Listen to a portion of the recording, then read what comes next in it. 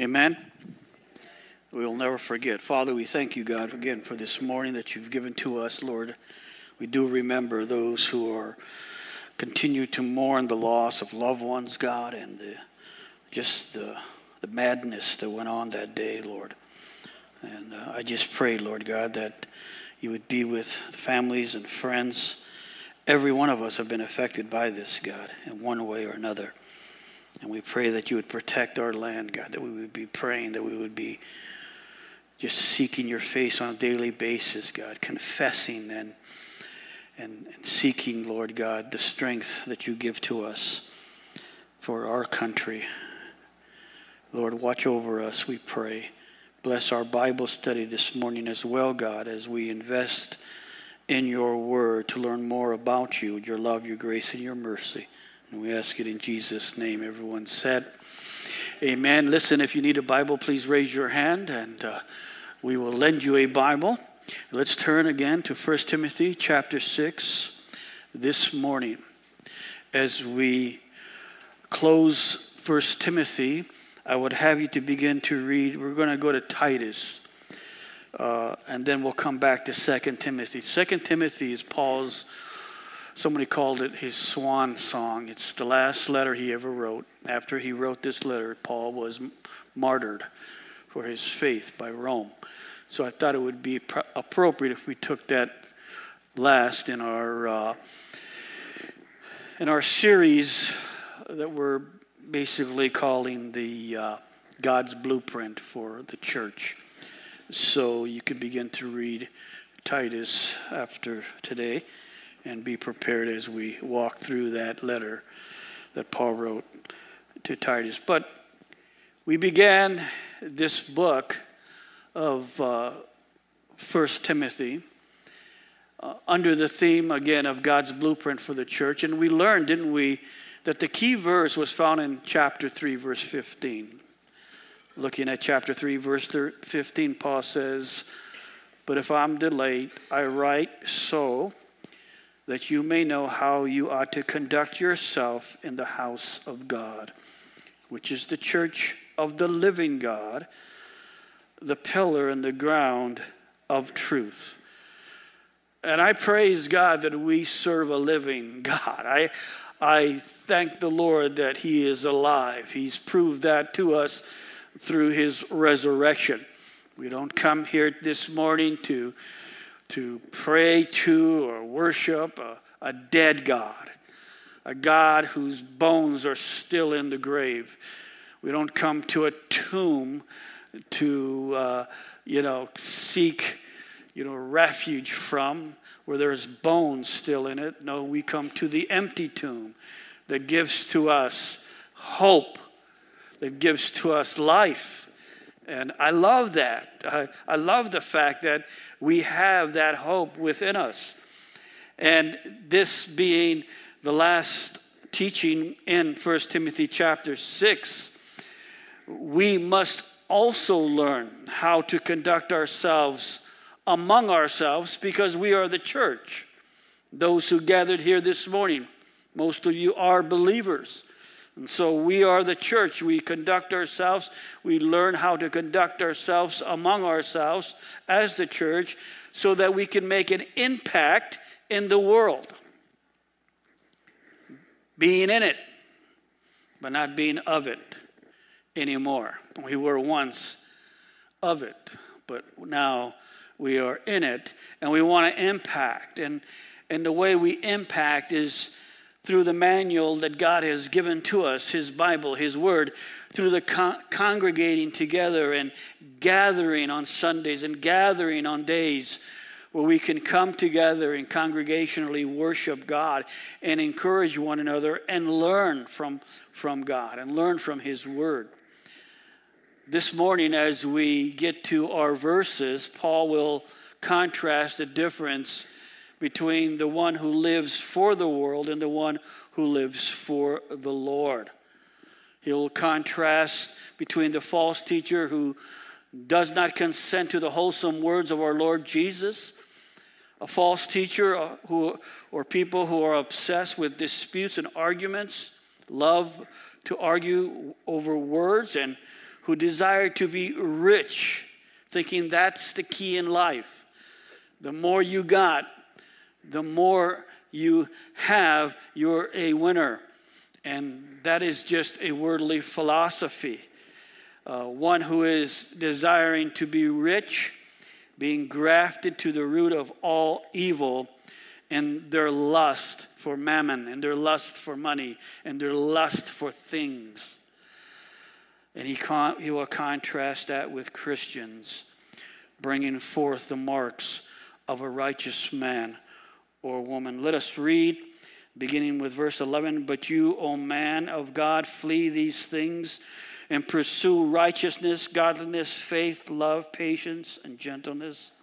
Fight the good fight of faith, laid hold on eternal life, to which you were also called, and have confessed the good confession in the presence of many witnesses. I urge you in the sight of God, who gives life to all things, and before Christ Jesus, who witnessed the good confession before Pontius Pilate, that you keep this commandment without spot, blameless until our Lord Jesus Christ appearing, which he will manifest in his own time, he who is the blessed and only potentate, the King of kings and the Lord of lords who alone has immortality, dwelling in unapproachable, unapproachable light, whom no man has seen or can see, to whom be honor and everlasting power. Amen. Command those who are rich in the present age and not to be haughty, nor to trust in uncertain riches, but in the living God who give us, gives us richly all things to enjoy. Let them do good, that they may be rich in good works, ready to give, willing to share, storing up for themselves a good foundation for the time to come, that they may lay hold on eternal life. And so we begin this ending of this letter with Paul uh, speaking to Timothy, calling him a man of God. And I love that. And I pray that that's your heart's desire to be a man or a woman of God. He, he says, But you, O man of God. Again, personally speaking to Timothy, but the Holy Spirit this morning, individually and congregationally speaking to us. For as we read the Word of God, we must always put ourselves as the hearer, as the one who is receiving what is written down for us. And so he speaks to Timothy, but the Spirit speaks to us who claim Christ as their Lord. We must remember this, friends, if you're taking notes, that a man or a woman of God is God's personal possession. You are God's personal possession. God cares for us. God watches out for us. God teaches us. God warns us. God guides us. God directs us because he wants us to be a vessel of honor for him on earth. He does so much for us. And so many times it's just supernaturally natural. And every once in a while we, we have a Selah moment. We have that pause and realize how much He loves us, and we just pause and look up and praise Him. Amen. As Christians in our sanctification process, we begin to realize that we begin to realize there are certain things that are not good for us to engage in personally, nor as a witness to others. And, and we've mentioned these things through this letter. And Paul will again mention them. These things that we call conviction. And praise God for conviction. Praise God for the Holy Spirit who lives within us, who, who convicts us, who is, you know, our uh, moral compass who speaks to us and guides us in the right direction. Now we look at this, and Paul loves to use the word flee, doesn't he? He loves it. Um, he loves to exhort believers in fleeing. Flee is pheugo in the Greek, it's where we get our English word fugitive. I don't know if you remember that black and white series on TV, The Fugitive, remember? When you think of the word fugitive, we are to be that. We are to be one who is constantly on the run, because we are a fugitive of the world. We're, again, we're no longer in the world, but we are a fugitive of the world, and in a sense, we are constantly on the run. And we're trying our best not to get caught up in the world, not to get caught by the world and, and its traps. And here Paul uses this word as a fugitive, of one who is constantly, constantly on the run, constantly watchful, looking out, ensuring that we don't get caught.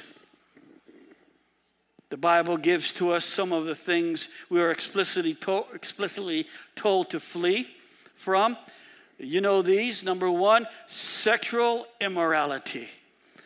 1 Corinthians 6.18. Idolatry. 1 Corinthians 10.14. Youthful lust. We'll see that when we get to 2 Timothy chapter 2. And then in our own letter, as we studied, the greediness and the love of money. As he says, in contrast to engaging in it, or as the world engages in it, we are to flee from that.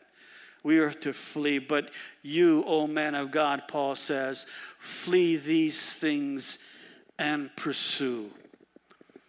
The flee statements in the scripture often come with a pursue command, doesn't it?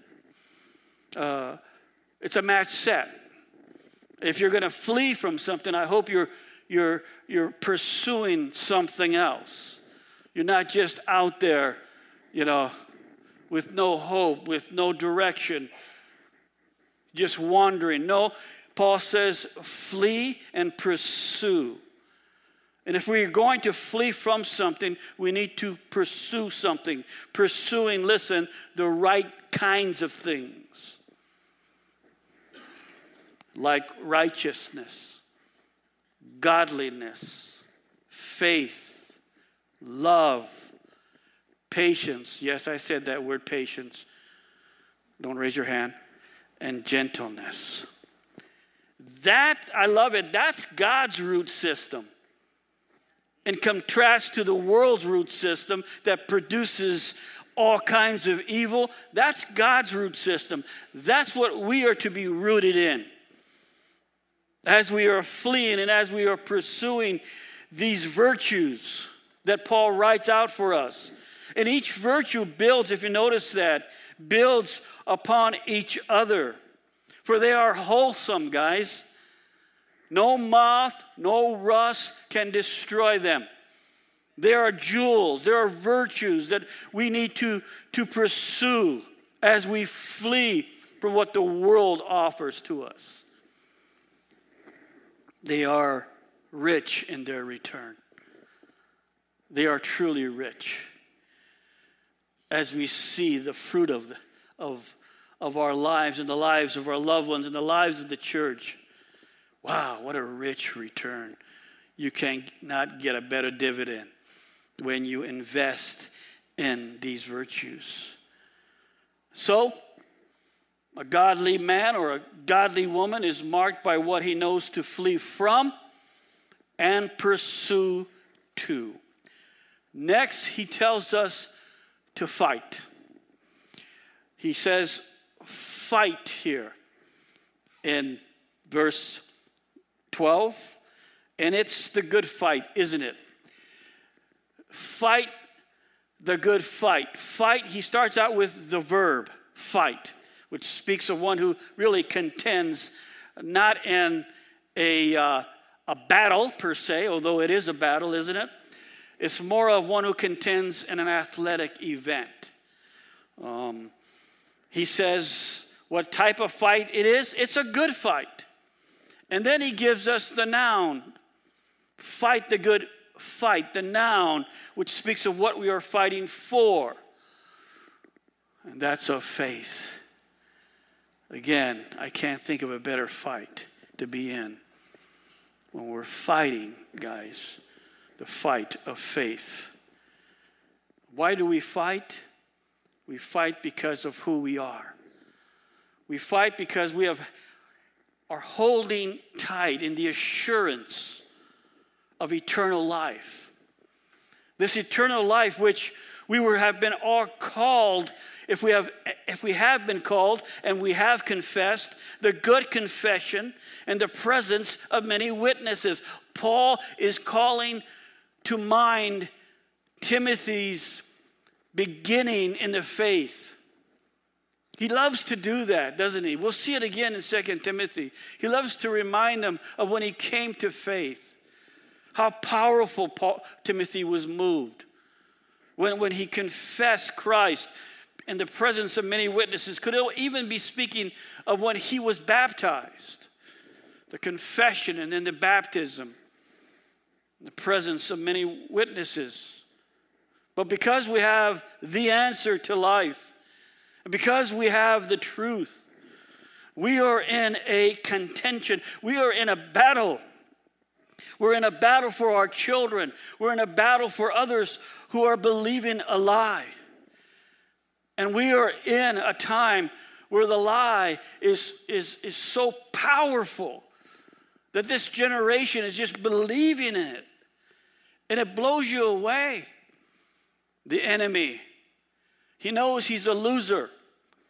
He knows that his end is coming. And though he takes as many with him as he can, and he begins with the lie. And that's all it is, friends. And so we stand and we fight the good fight, the fight of our faith. A Christian doesn't flee from what we know to be true. We stand and deliver. We stand. And that's why we fight. We fight. Our fight is good, for it concerns our Christian faith. We don't cower, we don't give in. We stand on our faith. We love those who have yet to come to faith. We love them and we let them know that we love you, but we stand upon this faith. We don't agree with the way you're acting, the way you're the path that you're on. We, we will be praying that you all come to the narrow way. But until that time, you need to know that we're standing on our faith, for our faith is true. So, guys, that's why we fight. And it's good to fight in this way. Go ahead and turn to 1 Peter chapter 3. Go right to 1 Peter chapter 3. That's why you bring your Bibles, right? Or your devices. If you brought your device, you've been there already three seconds faster than we are. But 1 Peter chapter 3, would you look at verse 15? Guys, we stand on the truth of the gospel because we must always and be ready to give a defense. He says, But sanctify the Lord God in your hearts and always be ready to give a defense to everyone who asks you a reason for the hope that is in you. You see that? Always ready to give a defense, to give a reason to everyone who asks you a reason for the hope, the reason of your salvation, the hope that is in you. Now, here's the key part of this verse. Underline it, and it's okay to write in your Bible. With meekness and fear. With meekness and fear. Not weakness, Sometimes we think that meekness is weakness. No, it's not weakness, but it's strength under control. You know that. You're well taught. It's that word that speaks of strength under control, under the control of the Holy Spirit. Under strength of the Holy Spirit. And fear, that doesn't mean that we're afraid but it's a reverence for the name of Christ who saved us. It's the reverence of the gospel that we share. Reverence with meekness and, and fear. As, as we fight the good fight, we must remember that there are lost souls and their eternity is at stake. That we're not trying to win the argument. I know I say this a lot, but we are trying to win the heart, trying to win the soul. And some of us will plant seeds, and some of us will water the seed, but we stand for what we know to be true. We don't cower, even to loved ones. We don't cower to that. We stand and love them, but we give them the truth. We don't contend to win a battle of words, but men's souls for the Lord. I like how Paul, when he, before he died, he wrote, I fought the good fight. And I have finished the race and I have kept the faith. That sums up verse 12. That's what we want on our gravestone, isn't it? That's what we want preached at our funeral. Well, she, she, she fought the good fight. Mm. And, she finished the race, and he, he kept the faith, man. Great, great statement. A great thing that we should also embrace. So, a godly man or woman is marked by fighting the good fight keeping the faith with a goal of finishing the race. He goes on for us to be faithful. Look at verse 13. He says, I urge you, or I hold you accountable, he says, in the sight of God and before Jesus Christ. He holds him accountable, he holds Timothy accountable uh, to two sovereign persons, uh, two of the Godhead uh, of the Trinity God and Jesus Christ. And he says, I hold you accountable in the sight of God. Notice, here it is, who gives life to all things, just in case you needed to know that he, he is the creator. Uh, he is the one in Genesis 1 1. The omniscient creator the life giver. And before Christ Jesus, who is the Son of God, who came to restore fallen man, who came to offer eternal life. Says Timothy, I'm going to hold you accountable to this. And the Holy Spirit speaks to us and says, I'm going to hold you accountable as well. Who witnessed the good confession before Pontius Pilate. Paul wanted Timothy to think of Jesus' boldness before Pilate, which speak to us as at least one or two of the Gospels were already written. They already had the writings of, of some of the Gospels here that, that was shared on that event when Jesus stood before Pilate. But more important than that, the fact is hey, Timothy, I want you to, remember the boldness that Jesus, the Son of Man, the Son of God, when he stood before Pilate, who was the Roman governor of Judea. Pilate, who thought he had authority. I love that conversation Jesus had with him. You got authority? The only authority you got is what my Father has given you to do.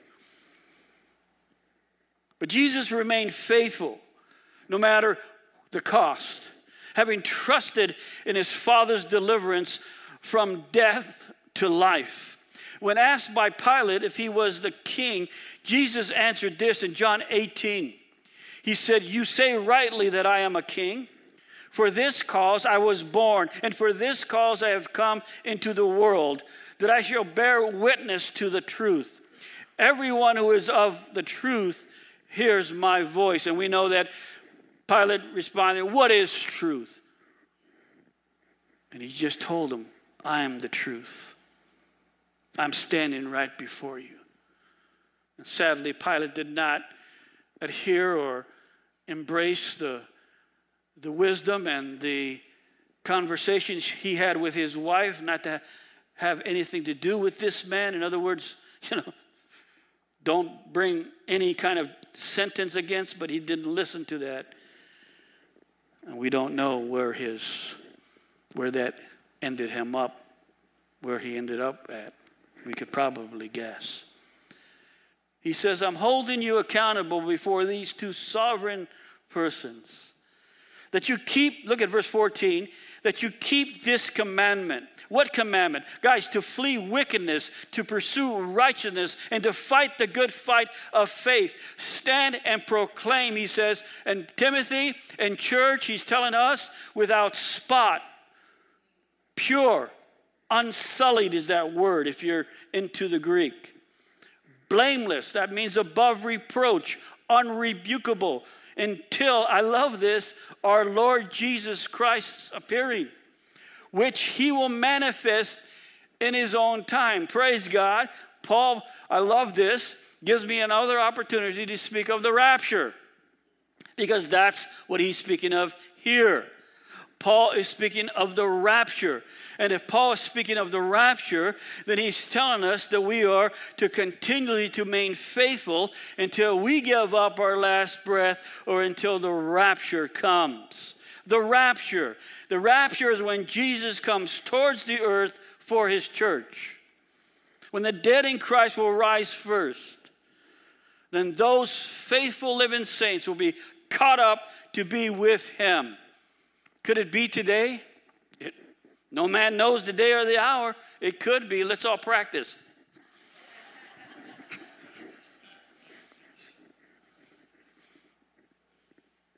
But our charge is to make basically what he's saying remain faithful daily until we give our last breath, until the rapture of the church comes. I love Paul. He's always trying to how somewhere somehow insert the rapture. I love it. His urgency of the expectancy of Christ's coming. He's always trying to find a place to insert that. And he's so excited of Christ soon appearing that, did you notice he breaks out into what's called a doxology? a spoken praise of God. Check out, continuing. He says, He who is blessed and the only potentate, all powerful, the King of kings and Lord of lords. There it is. You've been wondering where those words were in the Bible. Underline them. For he is the King of kings, he is the Lord of lords. He has confessed that before Pilate. He is the one that they were looking for, the Jews, the one that the nation has rejected. He has no equals. He is the Lord of lords. He is the King of kings. Look at verse 16, who alone is who alone has immortality. Interesting word again, look it up. That means undying. I like that. Undying. For he is the everlasting God. He is the God who has overcome death and decay. He is undying. Dwelling, he says, in unapproachable light. Light, what? Light represents his holiness. Light dispels what? Darkness. Love light, study light. It's interesting. Cockroaches hide when the light comes. Uh, not that any of you know about cockroaches, but we'll move right along. What this represents is His holiness. For in God there is no darkness at all, it's His holiness. Whom no man, mortal man, has seen or can see. Yet, yet this is what I love about our faith, guys. And even Jesus said this in John. Yet we are blessed to believe in him. We who we haven't seen him, have anybody seen him? Don't raise your hand because the ushers are ready. But, uh, but, but in a sense, we know him. Well, not in a sense, it is true. We know him. We love him. We worship him. We praise him. And Jesus said, Oh, blessed, more blessed are those who haven't seen and yet believe. Paul's just so excited he says, To whom be honor and everlasting power. And like every preacher, this is his first amen. His first closing. But really, amen says, Amen. I agree. this is right. This is true. A godly manner or woman is marked by their faithfulness to God. Moving right along, he goes into exhortation. Uh, exhortation is, uh, is an interesting word. Uh, to exhort here in context, of course, to the rich, but it is a, a, a wonderful um, obligation, uh, tool. Um, it's a command uh, for every one of us to engage in, again, with meekness and grace and love.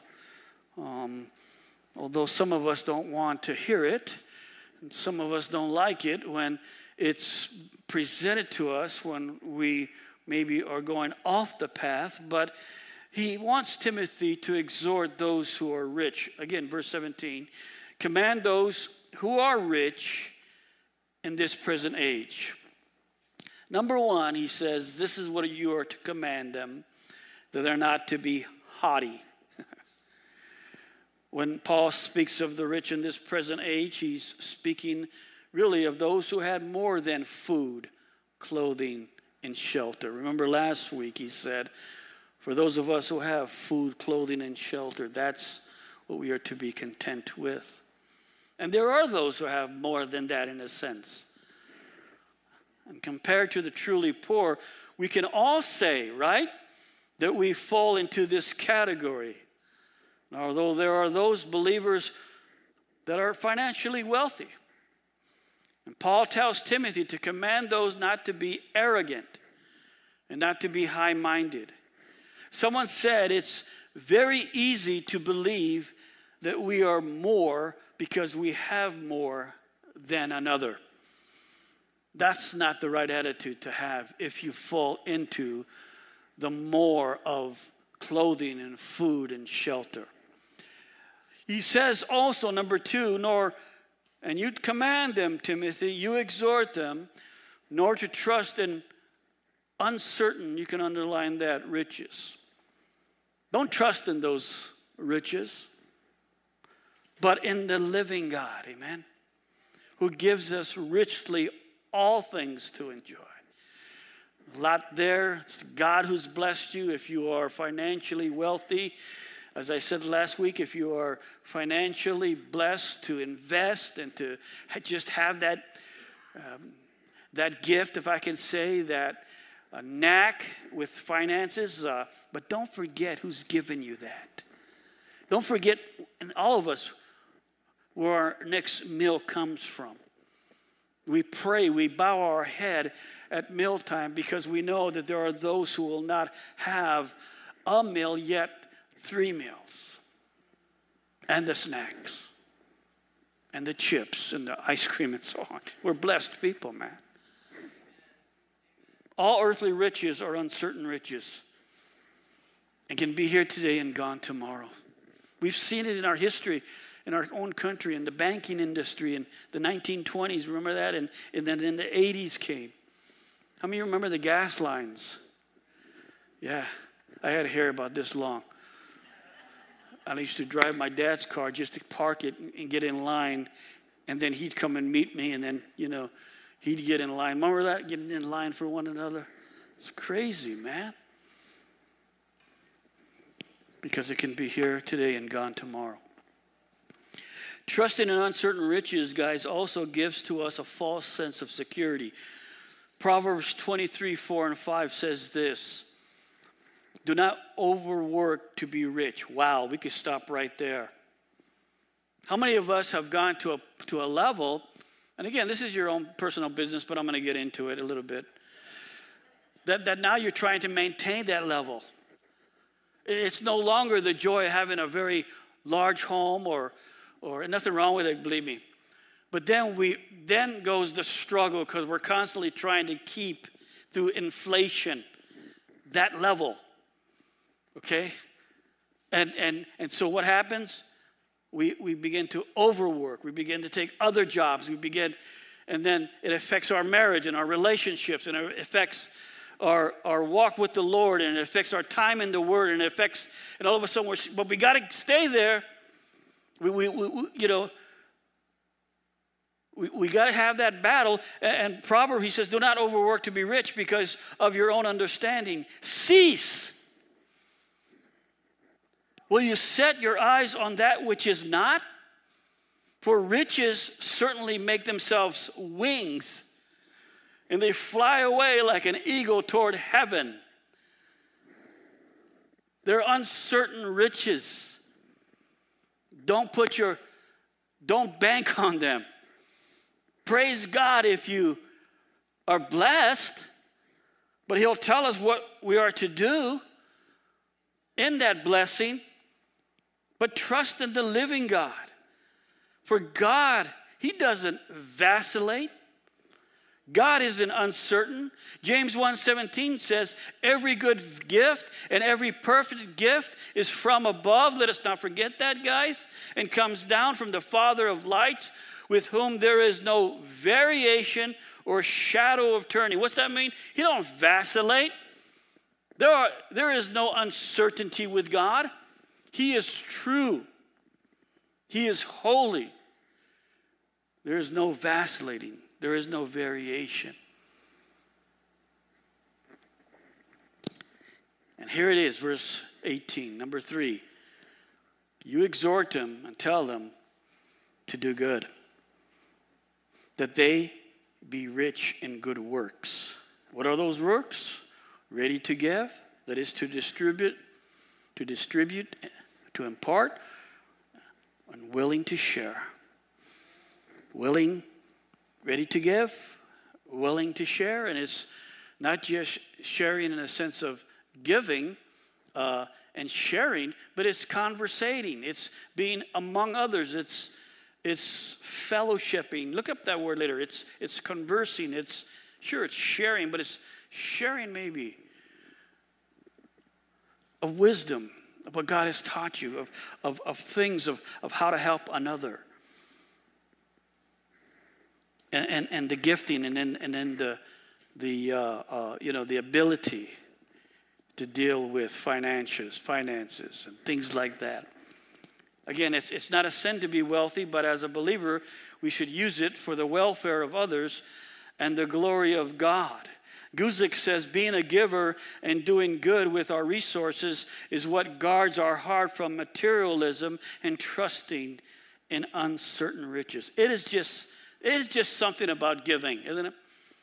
It is just something about that. Uh, it just does the heart good. I love it. And then verse 19, he says, they, they will store up for themselves a good foundation for the time to come that they may hold on to eternal life.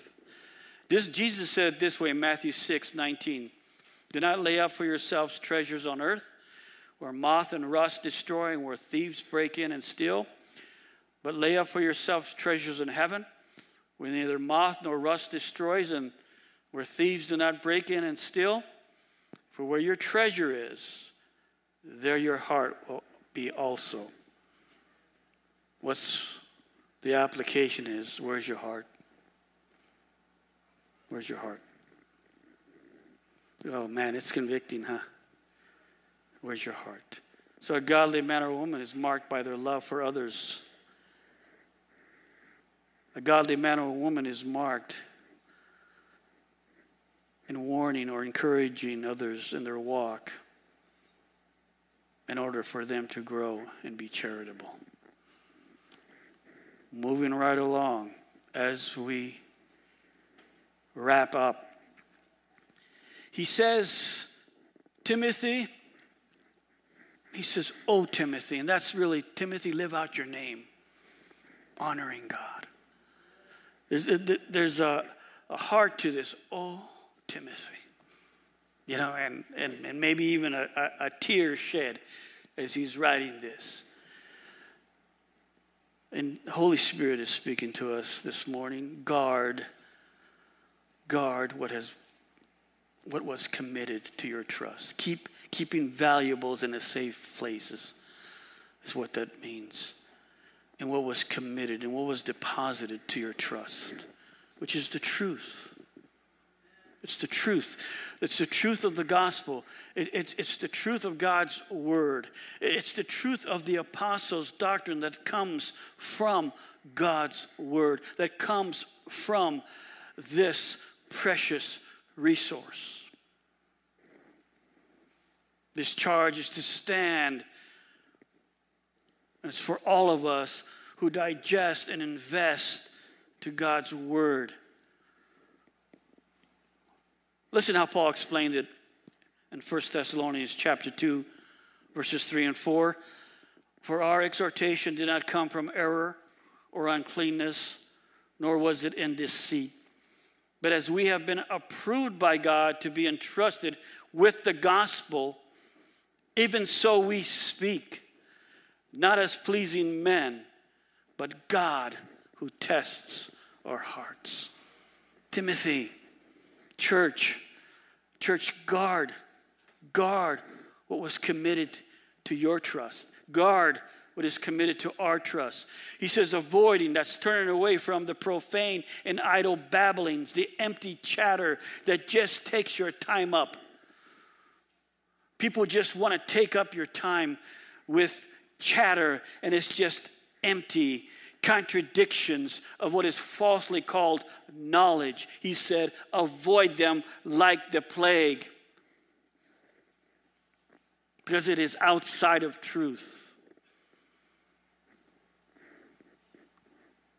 And he says, Timothy, verse 21, by professing it, some have strayed concerning the faith. Oh, they were on the right path of, of truth, but they were bewitched, they were sidetracked, they, they began to believe the lie, and uh, or like the Pied Piper, they are following or have followed the destructive way.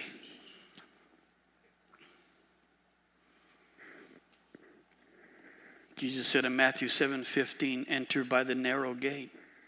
For wide is the gate and broad is the way that leads to destruction.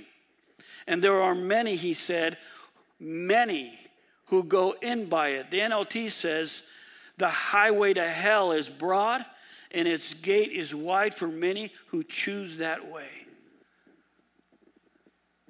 And yet the theme song for the world is, I'm on the highway to hell.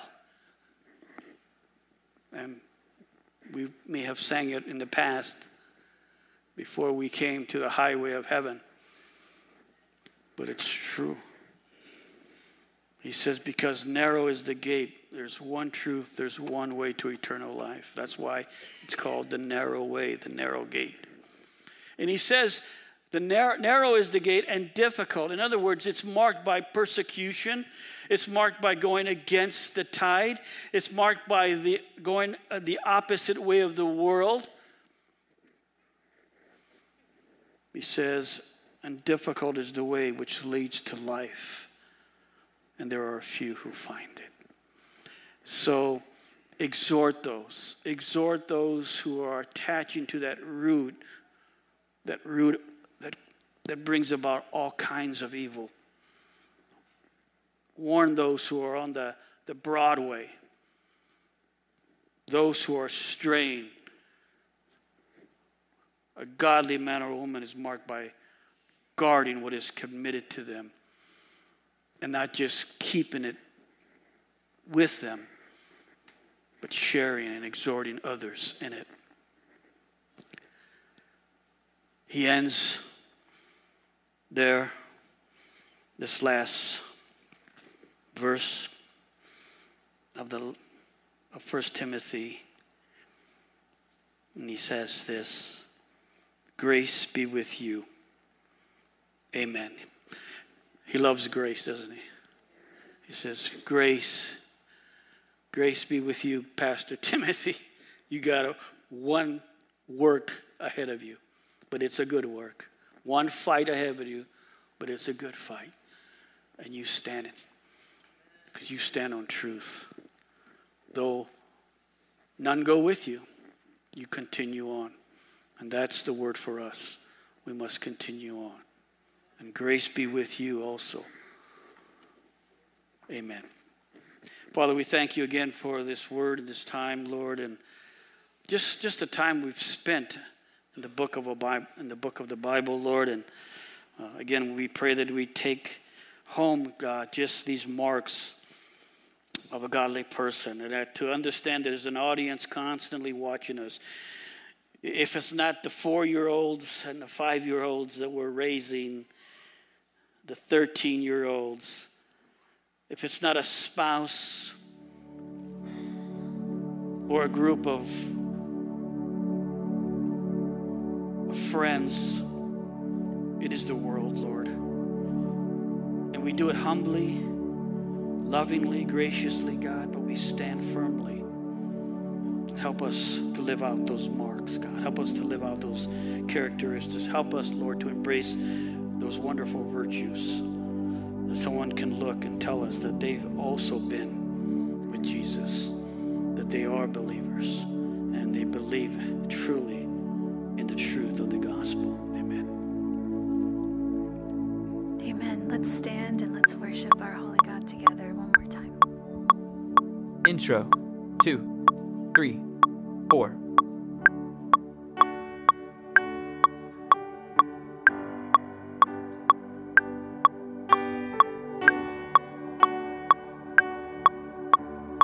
Verse, two, three, four.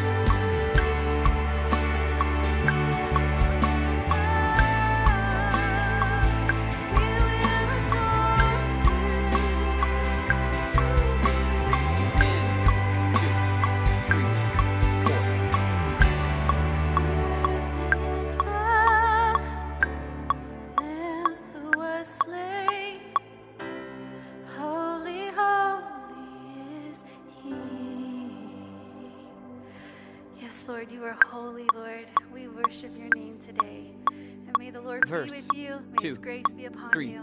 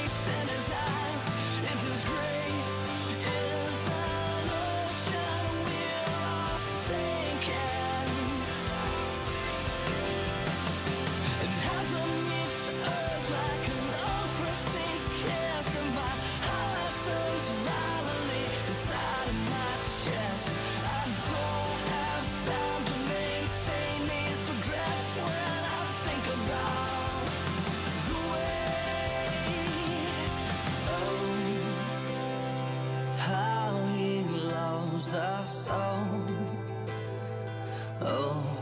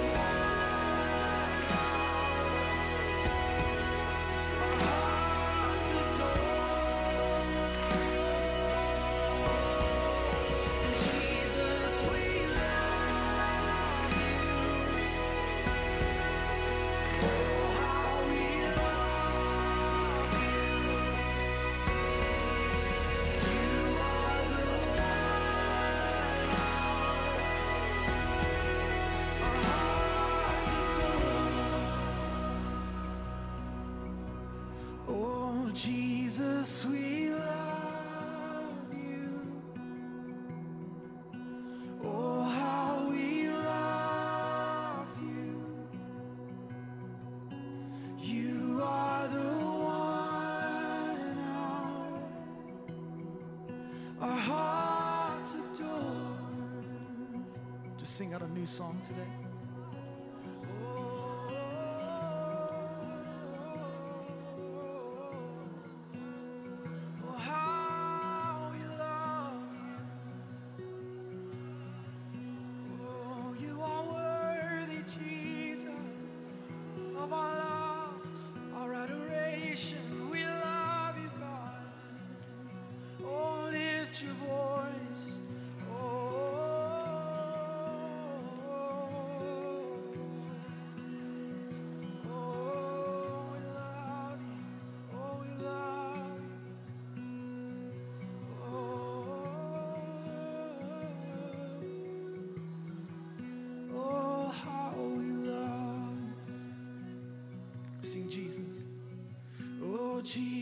sweet.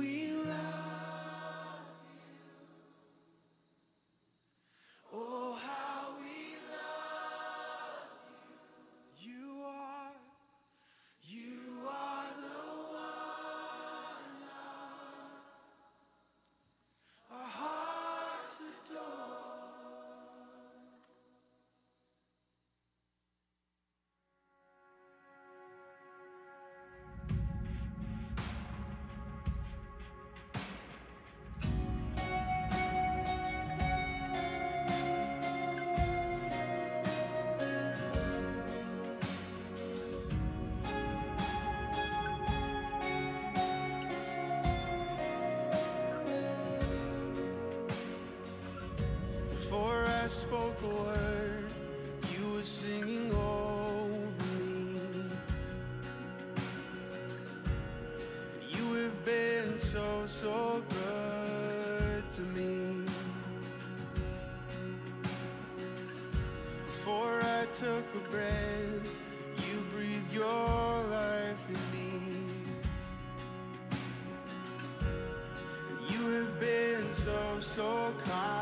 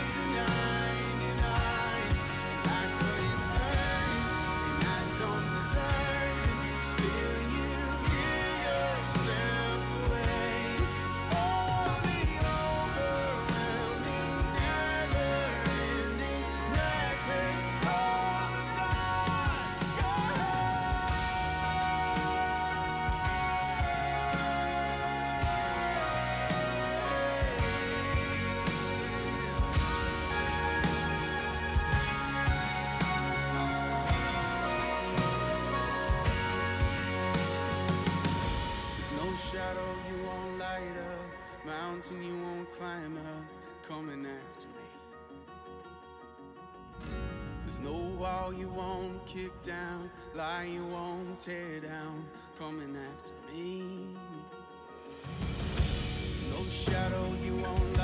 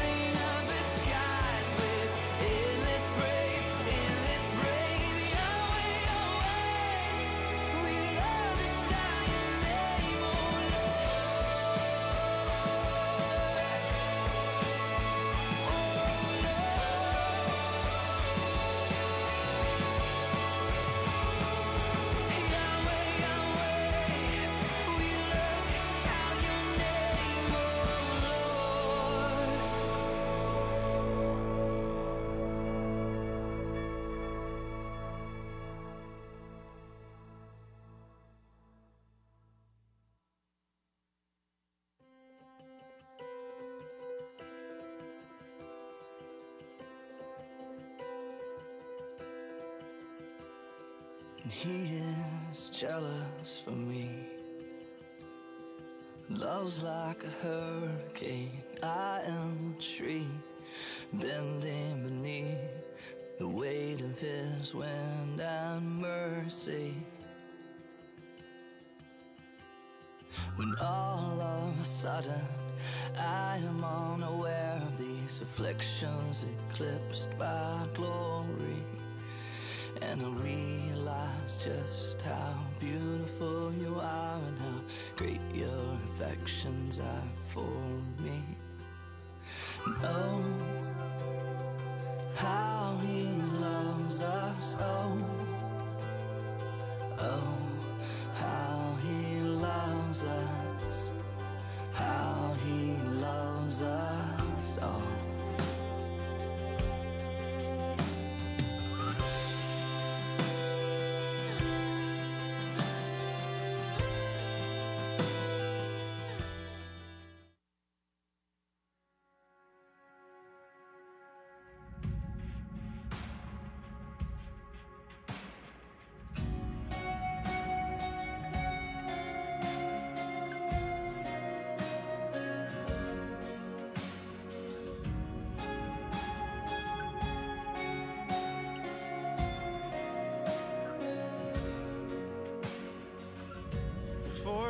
spoke a word, you were singing over me. You have been so, so good to me. Before I took a breath, you breathed your life in me. You have been so, so kind.